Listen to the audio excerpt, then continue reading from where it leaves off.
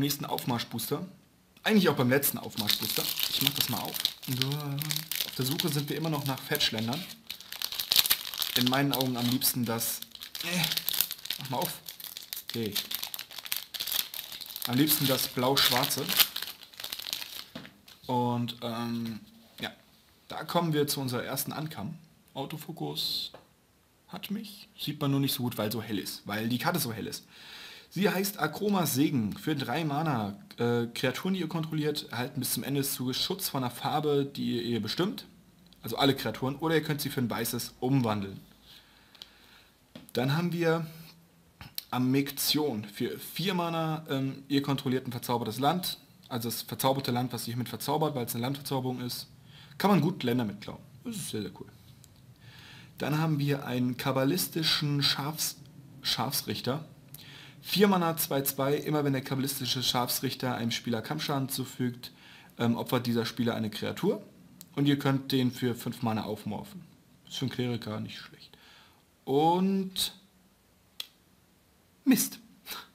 ähm, ist zwar ein Land, ist eine Rare, ist aber nicht ganz das, was ich haben wollte. Unheilige Grotte. Tappen für ein farbloses oder für ein schwarzes Tappen. Ihr legt eine Zombie-Karte aus eurem Friedhof oben auf euer Deck drauf. Ist nicht schlecht, ist aber auch nicht der Wahnsinn, ist, ist okay. Hätte ich aber lieber einen für gehabt. Wäre mehr wert gewesen.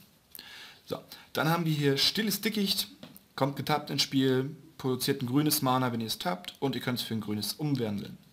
Umwandeln heißt also aus der Hand abwerfen und einfach noch eine Karte ziehen. Dann haben wir hier defensives Manöver für 4 Mana, Spontanzauber, ihr bestimmten Kreaturentyp und Kreatur mit diesem Kreaturentyp plus 0 plus 4 bis zum Ende des Zuges. Hilfe aus der Luft, 4 Mana, Hexerei, für, für jeden Vogel, den ihr habt, äh, ich habe einen Vogel, ähm, eine Karte ziehen. Also im Spiel generell. Dann haben wir furchterregende Todesklagen, für 3 Mana Hexerei, alle Kreaturen erhalten Furcht bis zum Ende des Zuges. Ihr könnt es für 2 Mana umwandeln, da also dementsprechend eine Karte ziehen. Und wenn ihr es umwandelt, dann bekommt nur eine Kreatur Furcht. Dann haben wir hier ein aus anstürmender Schief anstürmender Schieferrücken. 5 Mana 4-3 und der kann nicht blocken. Und für 5 Mana könnt ihr ihn aufmorphen, ist eigentlich überhaupt nicht gut. Dann haben wir Krone der Energie für 2 Mana, die verzauberte Kreatur hält plus 1 plus 1 und ihr könnt sie opfern. Und ähm, allen Kreaturen, die denselben Kreaturentyp wie die verzauberte Kreatur hatte, ähm, plus 1 plus 1 bis zum Ende des zu geben. Dann haben wir hier Grasland, Kreuzritter, 6 Mana, 2, 4, Tappen, ein Elf oder ein Soldat deiner Wahl erhält plus 2 plus 2 bis zum Ende des Zuges. Auch nicht so der Wahnsinn. Rückrutsch, 2 Mana Spontanzauber, verdecke eine Kreatur deiner Wahl mit Morph. Mit Umwandlung, ihr könnt damit wieder eine Karte ziehen. Ist ganz cool, man kann damit Morph-Kreaturen wieder umdrehen. Speiernder Gorna, für 5 Mana 3, 4 und er kann Kreaturen blocken, als ob er Flugfähigkeit hätte, also hat er Reach. Und ihr könnt fünf Mana aufmorphen. Dabei braucht man aber nur ein grünes. Das ist sehr. Das macht schon einen großen Unterschied im Vergleich zu der anderen Kreatur, die hinten einfach nur Mist ist. Dann haben wir Furchtloser Zentaure, 1 Mana 2-2, Kreatur Zombie Zentaure.